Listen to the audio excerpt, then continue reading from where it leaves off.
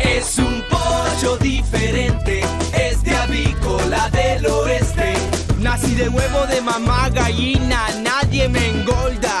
Con inyección o medicina. Lo mío es comer maíz, échame sal. Que soy feliz. Es un pollo diferente, es de avícola